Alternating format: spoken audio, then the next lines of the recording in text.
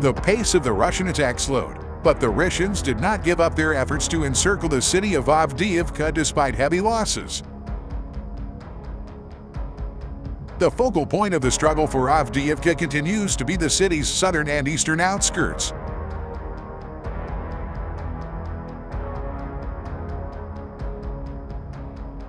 Ukrainian defenders continue to hold back Russian troops in their attempt to encircle Avdiivka. Ukrainian soldiers are steadfastly holding the line, inflicting significant losses on Russian forces. Ukrainian defense forces fought off 25 Russian attacks east of Novobakhmutivka, Stepov, and Avdiivka, as well as 15 attacks near Sevier, Pervomaysky, and Nevelsk, Donetsk region. Russian troops have made repeated attempts to advance in this area to fully surround the city. However, Ukrainian defenders have narrowly thwarted these drives, subsequently launching limited counterattacks to worsen Russian casualties and equipment losses.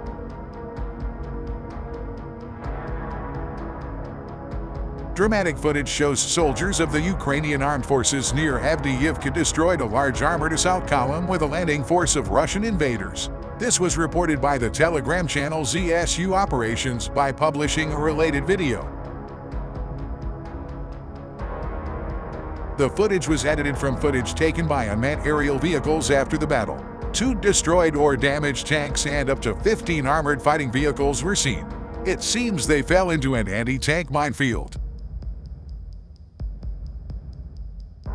In a new video shared online, a Ukrainian drone was in pursuit of a BMP-2 armored vehicle attempting to flee. The vehicle, driving beside damaged equipment from other unsuccessful defenses, raced at maximum speed to avoid becoming a target for Ukraine's FPV drone. Despite the possibility of drones chasing them, the fast-paced movement on a road previously used for attacks made it susceptible to being mined by Ukrainian forces.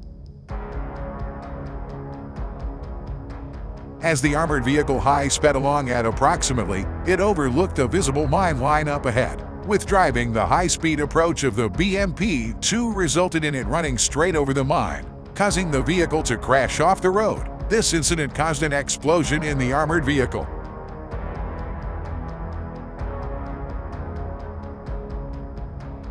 In addition, the battle for Krynky is a nightmare for both sides. That's how one anonymous Ukrainian Marine, presumably from the 35th Brigade, described to the New York Times Ukraine's two-month-old operation to seize and hold a bridgehead across the Dnipro River in southern Ukraine's Kherson Oblast.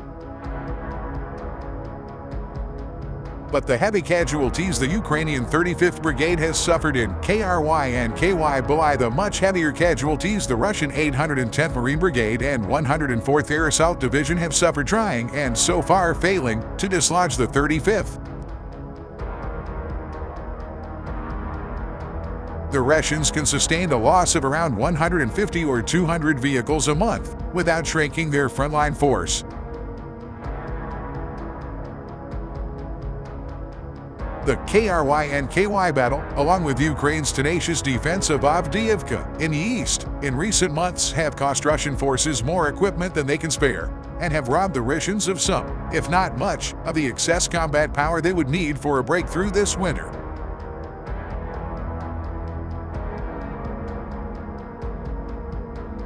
Besides, Russia launched 31 drones and two missiles at Ukraine on December 25, mostly targeting the south of the country, with air defenses destroying 28 drones and both missiles, the Ukrainian military said on Monday. As a result of air combat, the Ukrainian Air Force and Defense Forces destroyed 28 Shahed attack drones in Odessa, Kherson, Mykolaiv, Donetsk, Kirovohrad, and Khmelnytsky regions, Ukraine's air forces said. The drones were launched from Russian-occupied Crimea,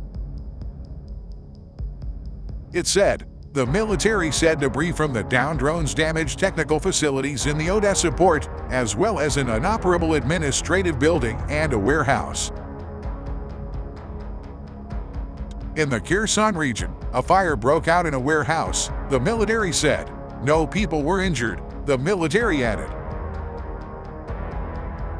Ukraine received $1.34 billion under the World Bank's public expenditures for administrative capacity endurance in Ukraine, the Ukrainian Finance Ministry said on Monday. The ministry said in a statement the financing consisted of a $1.086 billion loan from the World Bank, a $190 million grant from Norway, a $50 million grant from the United States, and a $20 million grant from Switzerland.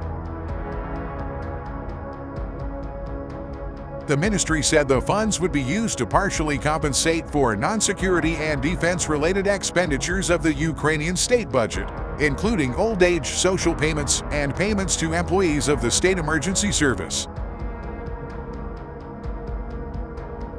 International financial assistance is a significant contribution to maintaining Ukraine's financial and economic stability and allows us to provide priority social expenditures during the war, Ukraine's Finance Minister Serhiy Marchenko said.